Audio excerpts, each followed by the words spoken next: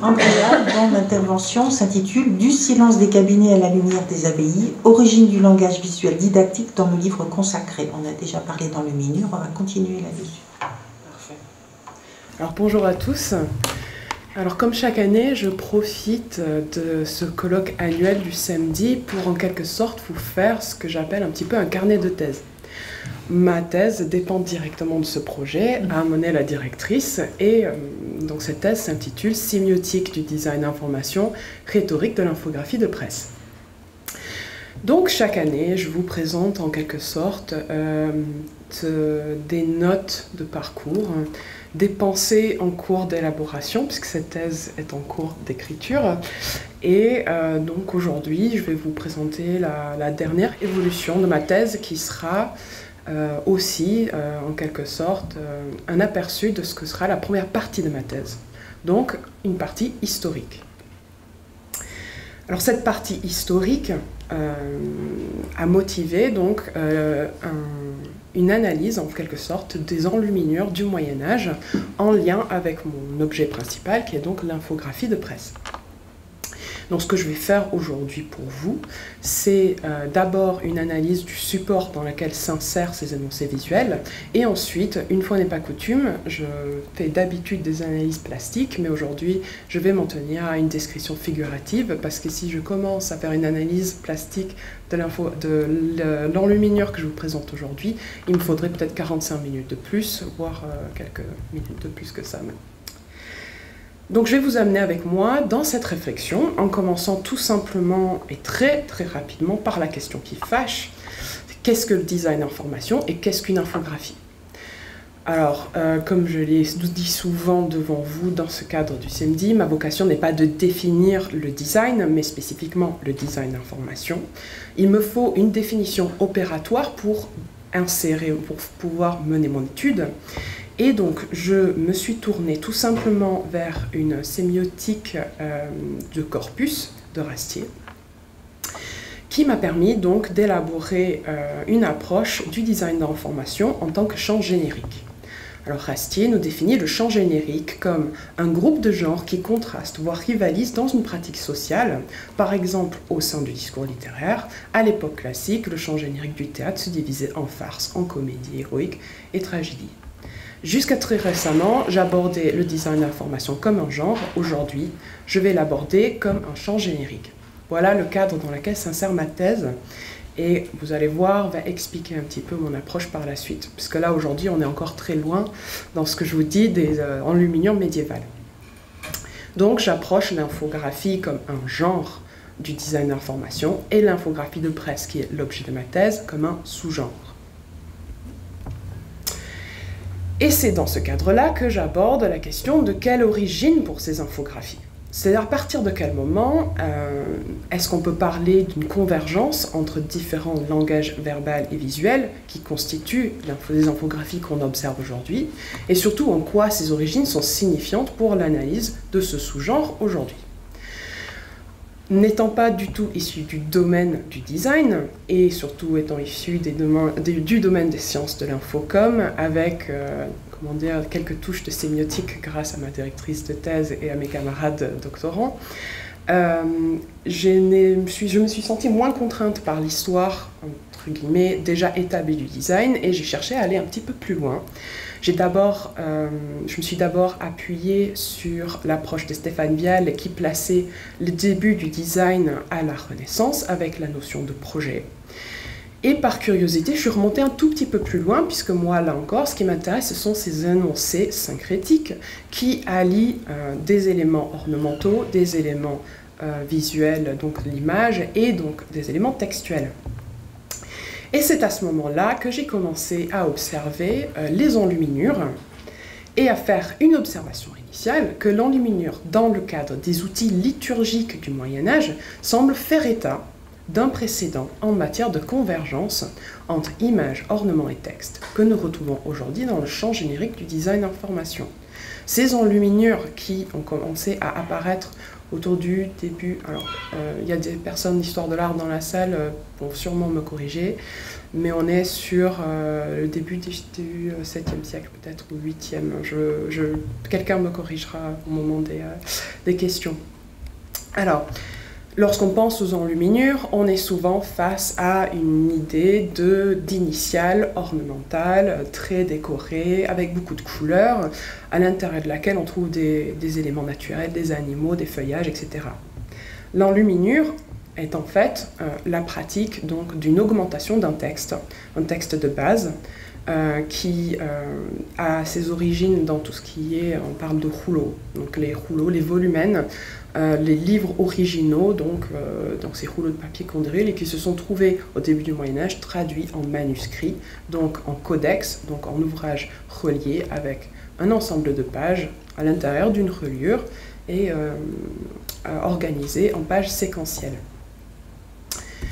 L'enluminure, donc, se décline sous plusieurs types. Donc, nous avons la rubrication, donc l'augmentation du texte avec des touches de rouge, euh, c'est d'ailleurs d'où vient le terme miniature, qui ne vient pas euh, euh, d'une idée de, petitesse, mais plutôt de minaret, donc qui est le nom du produit rouge qu'on rajoutait au texte et qui permettait donc de décorer ou d'augmenter l'ouvrage et qui correspondait également, au moment, on, y reviendra, au moment euh, de la messe et aux actes de, liturgie, de la catéchèse, par exemple, correspondait à une gestuelle ou marque une importance du mot à l'intérieur de la parole qui est en train d'être parlée.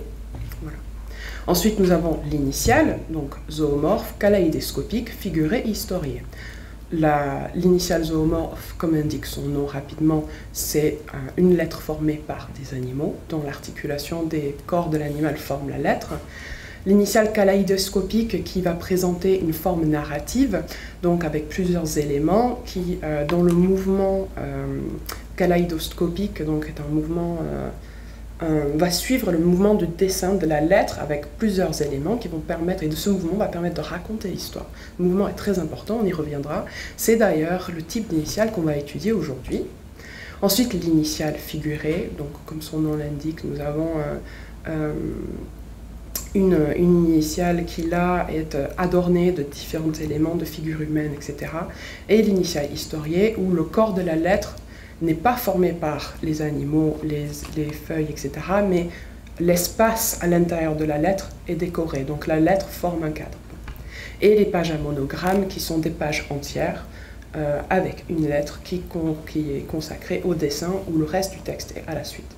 Et enfin, l'illustration didactique que j'aurais aimé aborder avec vous aujourd'hui, mais là par contre, j'aurais pris tout le temps de la conférence pour vous parler uniquement de ce phénomène que moi euh, j'associe aujourd'hui à clairement à une forme d'infographie euh, première en fait pour expliquer la, euh, en fait l'illustration didactique donne tout simplement forme à l'intangible. Elle formule des théories théologiques en fait. Voilà. Alors, je vais faire rapidement une petite clarification sémantique, parce qu'on n'a pas tous une culture, moi la dernière, religieuse ou, euh, ou euh, catholique ou chrétienne même. Donc les outils liturgiques, ce sont les ensembles, moi ce que j'appelle outils liturgiques, sont l'ensemble des ouvrages qui sont à l'époque employés dans le cadre de l'expansion du christianisme, donc dans le cadre des missionnaires, et aussi utilisés dans le cadre des messes et autres activités religieuses dans et hors des communautés monastiques occidentales. Ce sont donc des, des, des objets intermédiaires entre l'Église et une communauté, entre l'Église et un public qui va recevoir l'information. Donc on est dans le cadre d'une diffusion. Et deux de ces types d'ouvrages vont me permettre de vous présenter mes idées aujourd'hui. Ce sont donc les évangiles, qui sont donc les, euh, euh, les livres qui sont soit écrits par les prophètes, euh, dont j'ai oublié le nom parce que je suis en train de parler d'autre chose, et le psautier qui, euh, euh, regroupe donc les psaumes qui sont lus à la messe, etc. Et spécifiquement, je vais vous parler du psautier de Corbie. On reviendra après. Donc cet ensemble, ce parcours en fait de, réflexion sur l'histoire du design d'information m'a finalement amené à cette problématisation qui est comment cette initiale, donc l'initiale kaleidoscopique qu'on va regarder aujourd'hui, remet-elle au domaine public un accès au monde suprasensible en jouant le rôle d'interface entre l'œil physique et l'œil spirituel. Tout un programme. Alors, je vais vous présenter mon cas d'étude qui n'est pas très visible, mais j'ai fait un petit travail pour essayer de vous le rendre plus accessible. Donc ici, vous avez la page 110 du psautier de Corby qui présente le psaume 130 des Profundis, euh, que je ne vais pas vous lire parce que mon latin est inexistant, et euh, qui est donc un psaume pénitentiaire, euh, et qui est lu notamment au moment de, certains, de l'enterrement. on, est dans, on est dans la pénitence. Donc petit zoom. Toujours pas très visible. Euh, on va essayer la version C'est peut-être un peu plus visible. Alors, donc, cette, euh, cette, enluminure, donc monochrome, qui est plutôt rare, parce que là encore, quand on pense à l'enluminure, on, on pense à, de la couleur, à des dorures, etc. Mais il existe évidemment des, enluminures donc dans la monochromie. Bon, ici spécifiquement euh, le marron et le sépia, on va dire. Euh, donc cette euh, initiale, qui est la lettre D, euh, a été dessinée au début du 9e siècle. et comme je l'ai dit, est le début, la première lettre du psaume 130. C'est une initiale kaléidoscopique, donc on suit le mouvement du dessin de la lettre pour avoir le mouvement narratif, en fait, de l'histoire, exactement donc le principe euh, qui régit, donc là je cite Otto qui a écrit un ouvrage qui s'appelle Introduction à l'enluminure que je vais abondamment citer par la suite, on verra. Euh, le principe qui régit l'invention de ces initiales est, celui de la métamorphose kaléidoscopique, un processus d'organisation qui implique de façon essentielle une durée temporelle, fut-elle irréelle. En lisant la lettrine, nous assistons à sa genèse comme si on nous racontait l'histoire. Donc le dessin de la lettre nous raconte l'histoire.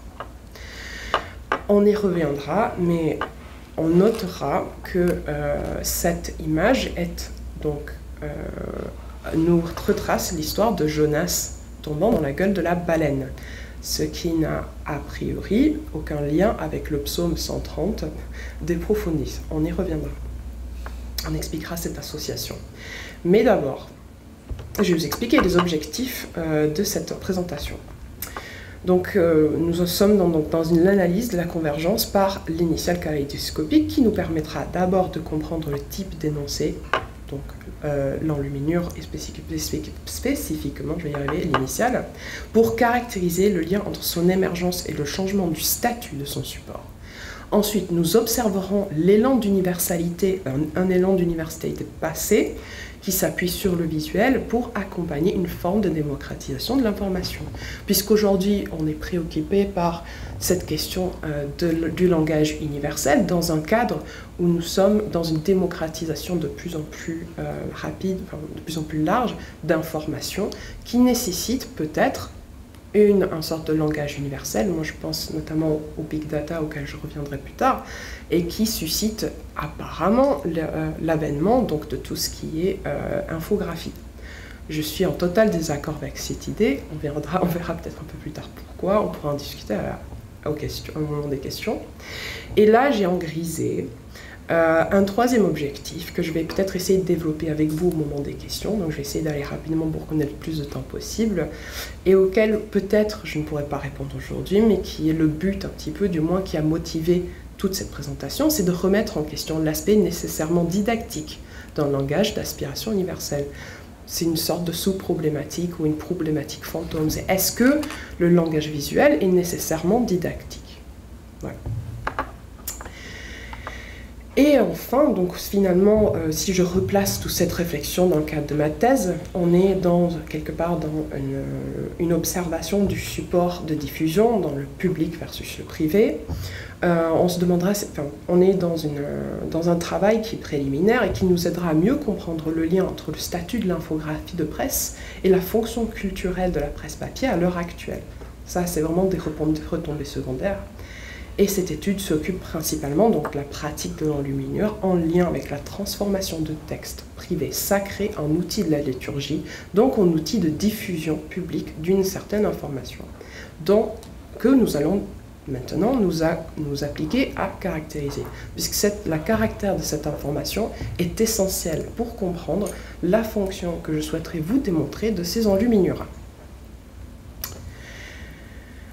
Autopache, dans son ouvrage L'enluminure médiévale, nous parle de cette culture chrétienne médiévale où il dit que le christianisme ne faisait pas de différence entre le livre, instrument de communication, et le message qu'il transmettait. Le livre était la forme sensible que prenait la source de la foi. Il n'était pas seulement ce que contenait l'évangile, il était l'évangile. L'ouvrage représente la source de la foi. Nous sommes dans une non-distinction entre les deux. Ce qu'il faut comprendre, c'est qu'on est une époque en pleine expansion euh, du christianisme et que euh, l'accord, cette approche du livre en tant que source physique de la foi était aussi un outil de... Euh, de ben, j'ai oublié le mot. Très bien. Euh, qui participait à la mission des missionnaires. Voilà. en fait, si on présente quelque chose de physique qui représente la source du Dieu qu'on essaye d'amener au peuple qu'on veut euh, évangéliser. merci, c'est incroyable, euh, c'est évidemment beaucoup plus fort.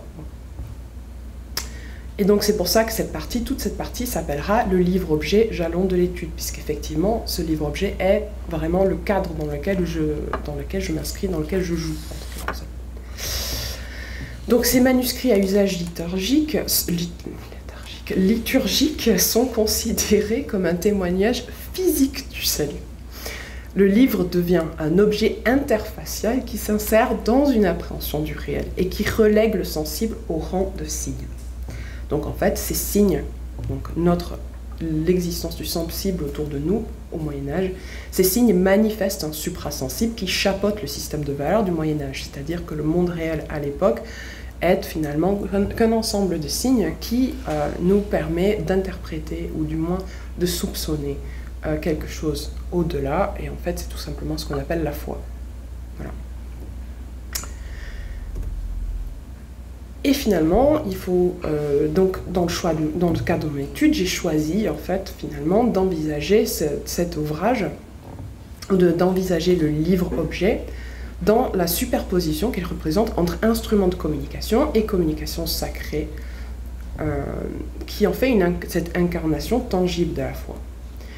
J'ai donc été chercher euh, une des premières définitions du signe dans le dictionnaire raisonné de la théorie du langage, qui dit que le signe est une unité de plan de la manifestation constituée par la fonction sémiotique, c'est-à-dire par la relation de présupposition réciproque ou solidarité qui s'établit entre les grandeurs du plan de l'expression ou signifiant et du plan du contenu ou signifié lors de l'acte de langage. On est plusieurs à plus ou moins connaître cette définition par cœur, mais je pense qu'elle est essentielle de la cité une fois de plus, puisque aujourd'hui on est dans le cadre d'une conférence transdisciplinaire et euh, interdisciplinaire, et euh, voilà, je pense que c'est bien de bien définir tous les termes qu'on emploie. Donc, si on envisage euh, le livre consacré en qualité de signe, on, est, on doit se questionner, mais quel type de signe? Et c'est là où je suis absolument ravie qu'Audrey et Ludovic soient passés avant moi, parce qu'ils ont fait une présentation brillante de l'iconicité et de l'iconisation notamment, qui moi me permet donc de peut-être plus simplement vous expliquer l'approche que j'ai donc de cet ouvrage, du livre consacré, et surtout de l'effet ou de l'importance que cette caractérisation a pour euh, ces parties composantes dont fait partie l'enluminure. Bordron donc cette définition que je vais peut-être passer, euh, vous laissez euh, au tableau, je ne vais pas la lire et euh, simplement la commenter rapidement, qu'en prenant appui sur les travaux de Jean-François Jean Bordron dans son ouvrage L'iconicité et ses images, nous pouvons construire une approche qui aura pour intérêt d'intérêt intérêt, qui aura pour intérêt d'interroger l'iconicité et peut-être l'iconisation du manuscrit sacré. Ce position théorique permet d'envisager chaque élément du livre, dont cette méréologie dont a mentionné Audrey. Ce positionnement permet, merci, d'envisager chaque élément du livre dans, son, dans, son rôle de ressemblance avec la foi. Nous nous aventurons donc à parler d'iconicité du livre plutôt que de livre icône, et ce choix se fait d'abord à la lumière de la relation au monde physique propre à la théologie du Moyen Âge. Bacht dit On a commencé à faire une distinction entre l'œil physique et l'œil spirituel d'où vient cette expression que j'utilise dans ma problématique. Ce que l'on percevait avec le premier n'avait de valeur que dans la mesure où cela reflétait, évoquait, indiquait autre chose, une réalité dissimulée derrière l'apparence superficielle des phénomènes matériels. Et donc c'est là qu'on voit que l'ouvrage liturgique commence à devenir une sorte d'interface. C'est un outil d'interprétation du réel.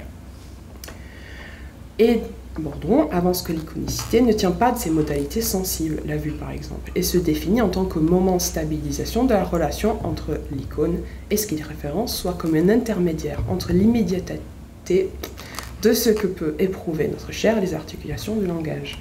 Le livre religieux de l'époque traduit en métalangage spirituel l'expérience de l'immédiateté du monde naturel que la croyance de l'époque dénonce en tant que façade. Et pour remplir cette fonction, il se pose une interface dont la lecture donne un accès au réel immatériel que la foi érige en tant que vérité divine. Et donc notre approche a pour intérêt d'interroger l'enluminure dans le cadre de cette iconisation que fait le manuscrit sacré. Ce positionnement permet de déterminer la place de l'enluminure à l'intérieur de cette totalité iconique qui rend tangible la source de la foi. Donc aujourd'hui, si j'ai choisi de ne pas simplement vous faire une analyse d'une enluminure, ce que j'aurais pu faire, j'ai choisi de vous vraiment euh, caractériser le contexte euh, à l'intérieur duquel s'insèrent ces enluminures, parce que c'est là, c'est dans, dans l'ouvrage, le type d'ouvrage que prend toute l'importance de cette enluminure en soi. Il faut qu'elle soit, elle est conçue à l'intérieur d'un ensemble organique. Elle fait partie d'un ensemble composite. Donc d'où le fait que je parle de livre-objet. Et donc, malgré cette caractérisation sacrée, le livre reste avant tout un objet de diffusion du savoir. Et son organisation donc varie en fonction de l'échelle de cette diffusion. D'où le nom de ma présentation, donc du silence des cabinets vers la lumière des. Une façon un peu poétique, simplement de dire qu'à cette époque, au fur et à mesure que les enluminures sont rajoutées ou adorment ces ouvrages, nous sommes en fait dans une transition de la Bible et des différents livres consacré d'une consultation privée, donc un accès privé au salut, puisque l'ouvrage liturgique, ou du moins l'évangile au moins, est considéré comme une source active, donc sa lecture, son accès permet simplement l'accès au salut, et donc son passage au monde public nécessite des outils d'accessibilité que représentent les enluminures. Et tout simplement, on est euh, dans le cadre des objets privés, euh, donc des livres de luxe par exemple, vont reprendre des traits euh, traditionnels. Et quand je dis traditionnel, je parle des rouleaux, c'est-à-dire que la Bible privée et exclusive va présenter des éléments qui sont, tiennent leurs origines dans les, rouleaux anciens, donc grecs, avec des colonnes très serrées. Aucune rubrication, aucune initiale alors que les, objets, euh, les livres-objets que nous retrouvons dans le cadre de communautés, d'abbayes, sont dont tiennent donc la rubrication qui permet la lecture de la Bible à la messe et qui correspondent donc à une forme euh, visualisée et écrite d'une certaine gestuelle, d'une certaine façon de lire et surtout la parole, la prononciation, puisque la lecture silencieuse à l'époque du Moyen Âge n'existait pas. Donc même quand on lit pour soi, on parle à voix haute. Euh, et euh, également donc ces enluminures qui permettent d'interpréter, qui prennent en, charge une fonction d'interprétant, auquel je vais venir tout de suite. Et donc, on peut dire, comme et Pacht du coup appuie ce que je viens de dire, donc on peut dire de manière générale que plus un texte ou un livre avait un caractère privé, moins il réclamait de mise en forme qu'une décoration artistique. Et donc la convergence image, texte, ornement visait non pas un lecteur, mais une communauté de lecteurs et que la forme et la mise en page de l'adornement marquent un texte qui fait partie de la vie populaire et donne l'accès à l'information. Plus, le document est orné et plus il est euh, d'accès public, simplement. on voit ici les débuts en fait d'un élan vers une démocratisation de l'accès à l'information qui représente dans ce cadre non seulement une démocratisation d'une information, mais une démocratisation d'un accès au suprasensible et donc au salut et donc à la, attention j'utilise un gros mot, à la vérité que représentait, que prenait en charge cette époque. C'est bientôt fini. Alors, je viens enfin à mon enluminure. Dans la préparation, euh, ma préparation de l'analyse a pris euh, peut-être l'ascendant sur l'analyse même, euh, qui simplement me fait caractériser l'initial en tant qu'outil d'accessibilité. Donc, le motif de l'initial, d'Indipart, a été inventé pour accroître la lisibilité du texte et se retourne finalement contre sa propre raison d'être et ouvre la voie à un jeu un jeu où sa forme, qu'elle soit naturelle ou adaptée au contenu, devient méconnaissable et se transforme en véritable énigme. Ce que veut dire l'auteur ici, c'est que la Bible est sortie de la science du cabinet et qu'elle ait reçu une fonction tout à fait particulière. Elle devient un, outil lors des offices divines, du moins dans la vie publique des communautés monastiques. Et comme je l'ai dit tout à l'heure, plus euh, une Bible est d'utilisation publique, plus elle va devenir compliquée. Initialement, les initiales sont là et ont une fonction encyclopédiques, elles permettent de naviguer l'ouvrage tout simplement, une grande initiale. On sait que le, psaume ou la partie, euh, l'extrait qu'on cherche commence par telle lettre, on va la chercher, on a un grand E, un grand B, etc. On va tomber dessus, on va ensuite trouver l'extrait qui nous intéresse. Mais plus cette enluminure prend en charge une fonction d'interprétant, elle va se complexifier puisqu'elle va comporter des éléments qui permettent une interprétation à son tour du texte qui se trouve à côté. Et donc, le système de ces initiales, finalement, va changer de, ne n'organise plus l'information. Elle rajoute un niveau, elle l'interprète. Et cette véritable énigme, en fait, que souligne Pacht, quelque part, c'est ce que finalement ce qu'Audrey et Ludovic disaient de manière plus claire, c'est-à-dire que c'est une forme qui se complexifie, puis elle prend en charge d'éléments culturels nécessaires, supplémentaires. On n'est plus juste sur une simple lettre, on est carrément sur une lettre kaléidoscopique dont le mouvement permet de raconter une histoire euh, et euh, dont les éléments individuels ont chacun une fonction hautement symbolique. Donc voici mon, cette fameuse euh, enluminure que j'ai essayé de colorer pour simplement, alors là, super, le vert on ne le voit pas du tout, parfait. donc nous sommes face à la lettre D, euh, euh, dont je vais faire une analyse figurative ultra rapide, puisque j'ai sûrement moins de 5 minutes. Donc nous sommes face au mot 2. Euh, et simplement le D, donc on voit le tracé du D majuscule, finalement qui nous fait faire descendre ici, avec son arc ici. nous avons trois parties dans cette, dans cette figure. Nous avons une première partie en haut, une seconde au centre et une autre qui englobe en fait toute la partie inférieure de la lettre. Cette partie supérieure euh, est, dans le style de l'époque, un homme sur une barque. Nous avons ensuite un homme qui tombe, et ensuite une créature qui, pour l'époque, en fait, c'est la, manière dont on dessinait les baleines.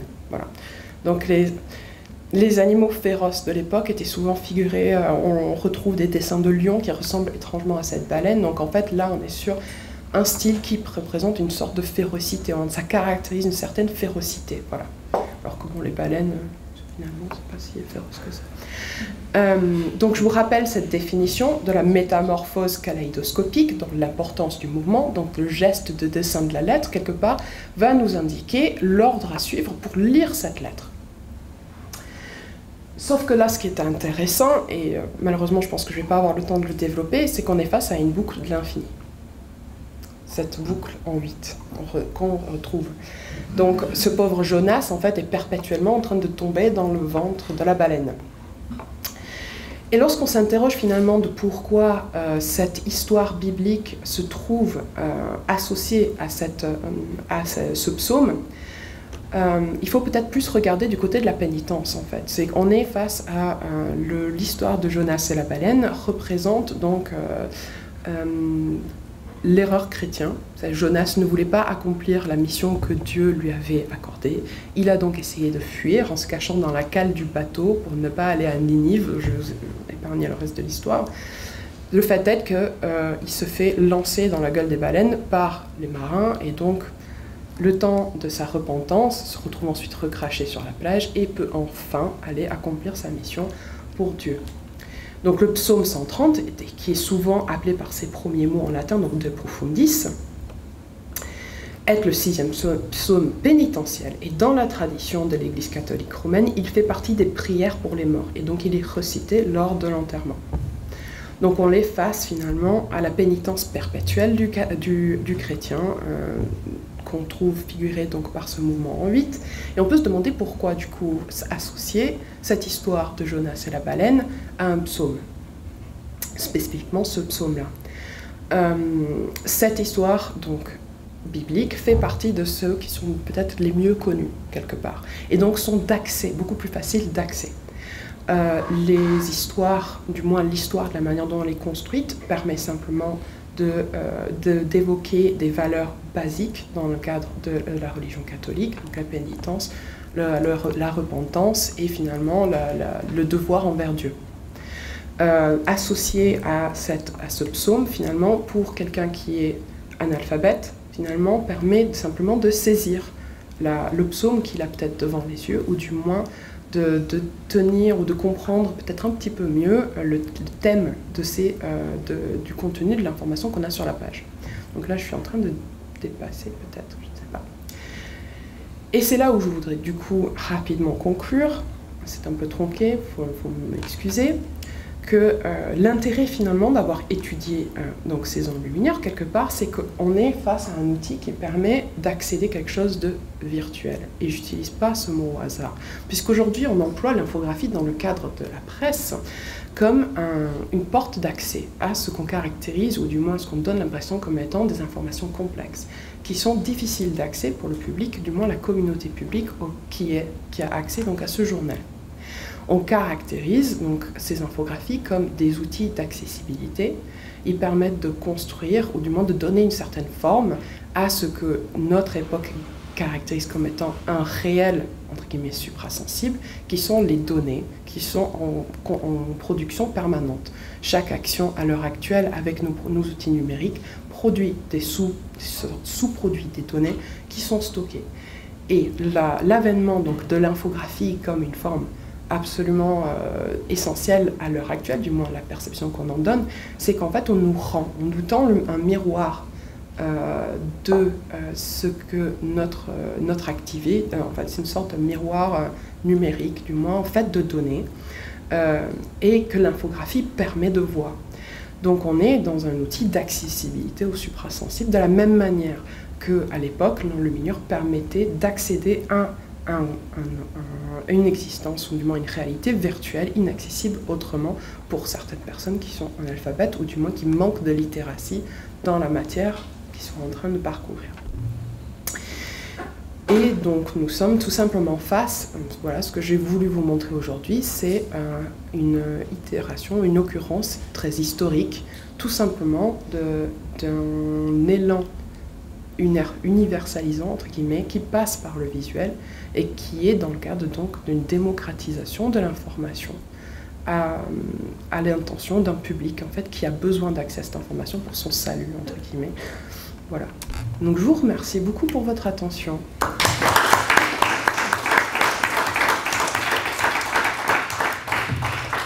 Merci beaucoup, Andrea.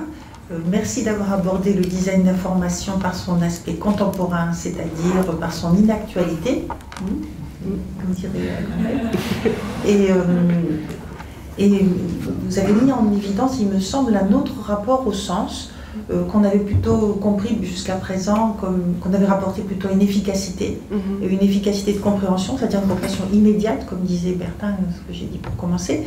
Là, vous montrez au contraire une, complexification syntaxique et sémantique euh, qui construit une épaisseur de sens dans laquelle quelque chose peut avoir lieu finalement. Oui, non Tout à fait.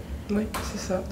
C'est l'inverse de ce qu'on dit euh, Ludovic. Et, voilà, c'est des ajouts, des ajouts. Et finalement, c'est un accès au sens qui, est extrêmement euh, énigmatique. Ben, quelque part, en fait, on, je ne sais pas si à euh, chaque fois qu'un chercheur traite un sujet, on voit toujours derrière ces, ses convictions scientifiques profondes, mais c'est la mienne par rapport à l'infographie, c'est que il est présenté comme un outil d'efficience, mais euh, je le vois comme l'inverse en fait. On est face à quelque chose qui, euh, au contraire, euh, il y a peut-être des designers ou d'autres personnes qui vont la SEC qui vont pas être d'accord avec moi, mais j'invite vos remarques.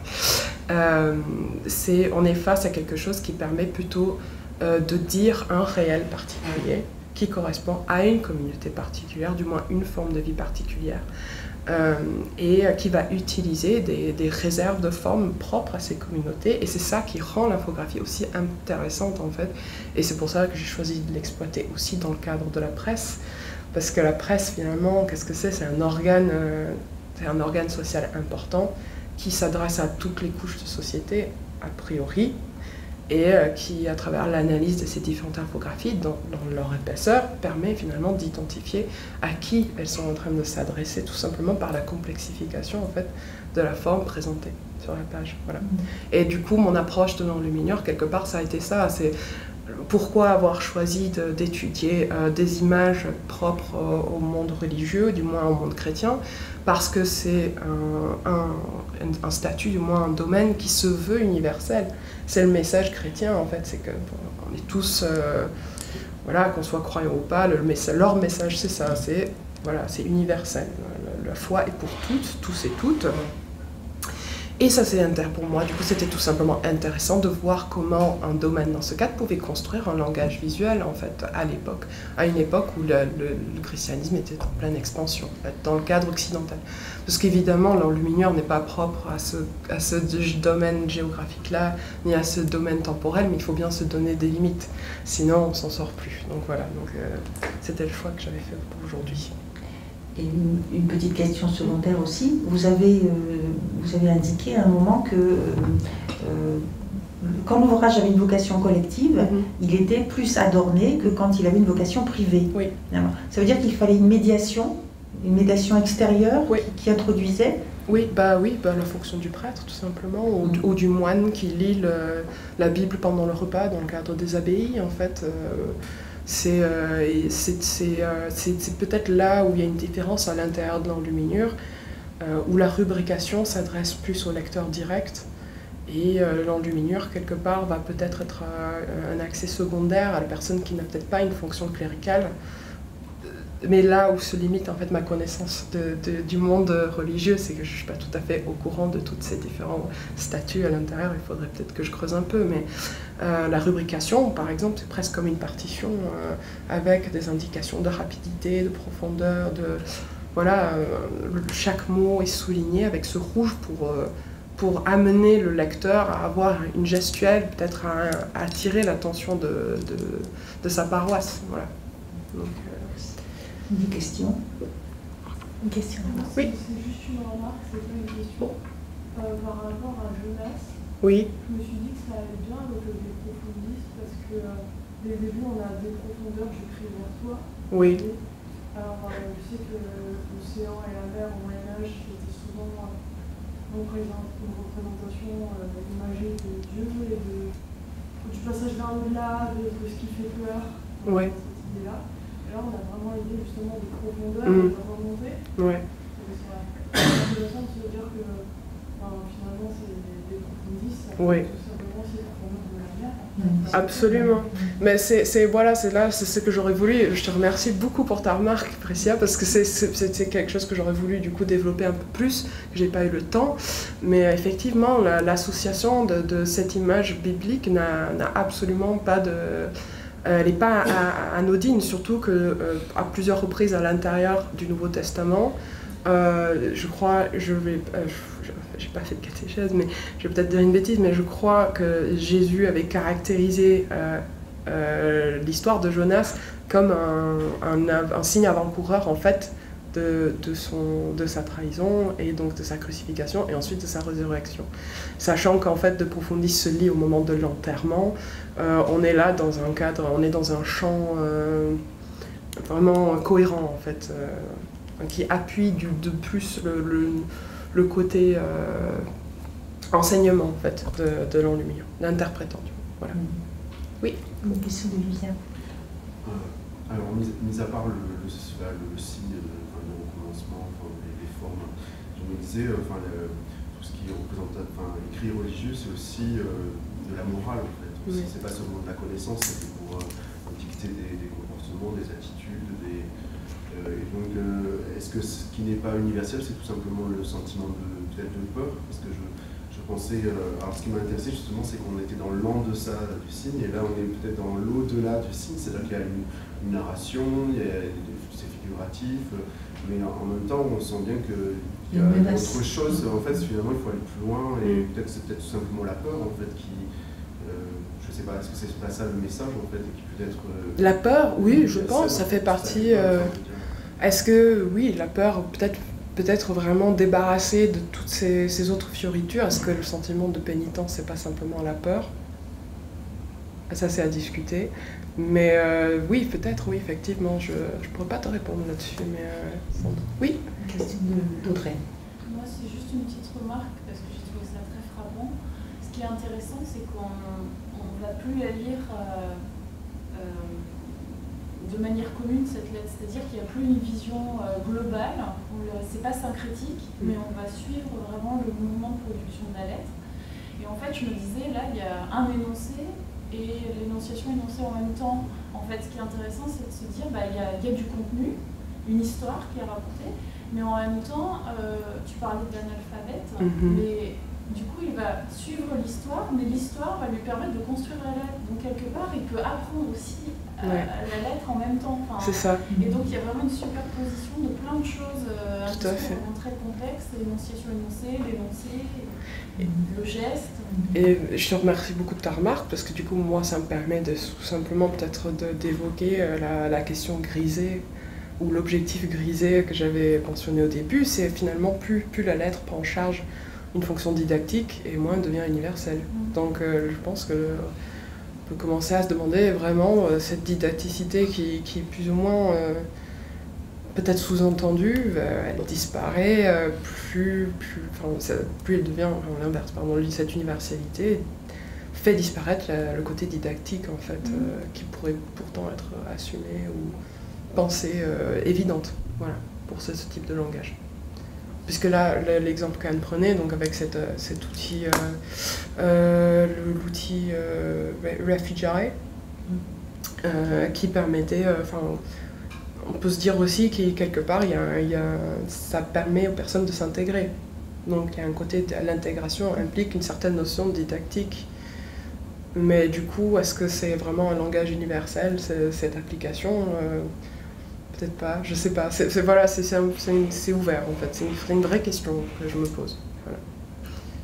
Oui Juste une petite remarque, je pense, euh, tu, parlais de démocratisation, je pense malgré tout, il faut, c'est vraiment par l'intermédiaire du lecteur parce que ces livres, malgré tout, n'étaient pas du tout. Euh, euh, enfin, pour le, public euh, qui mm. pouvait écouter, c'est pas eux qui avaient accès à ces livres, mm-hmm. je pense pas que c'est eux qui avaient accès à ces mm. visuels. Et la démocratisation passait par un médiateur qui était, le, lecteur.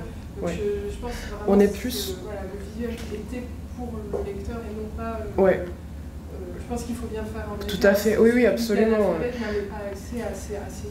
C'est d'où ma mention euh, de, l'abbaye, parce que là, on est plus euh, dans un accès par peut-être le public. Là, ça serait plutôt le moine, en fait, qui pourrait avoir accès euh, dans le, dont on a un aperçu dans l'excellent roman d'Umberto Eco, Le nom de la. Ce que tu nous as présenté, moi, me fait vraiment penser à tous ces chapiteaux mmh. dans les églises mmh. qui sont décorés de, de scènes narratives comme, mhm. enfin, qui sont là d'accès. Ouais. Jonas et, vraiment des iconographies qu'on Tout à fait. beaucoup dans, dans, dans, les églises. Et où là, il y avait en effet encore une fois un, accès pour le coup, qui était plus direct avec un public, comme tu dis, moins euh, érudit mhm. et qui euh, était malgré tout une nécessité de médiation par en effet euh, Tout à fait. Il y a cette notion aussi qui est très importante. Tout à fait. je te remercie. Ouais, merci beaucoup pour ta remarque. Ouais. simplement pour euh, terminer, euh, on parlait tout à l'heure de, du visuel qui mettait le corps en mouvement. Euh, là, on voit que c'est les, yeux qui sont mis en mouvement, mais dans les, dans les églises romanes aussi, il y a le rapport du corps à, la, au, au fait de presque de tomber en arrière, etc. Ça, c'est très, très important. Avant même les outils conicito, il y a cette interrogation du corps qui est mise en difficulté. On va, on va s'arrêter là. Merci beaucoup, Andrea.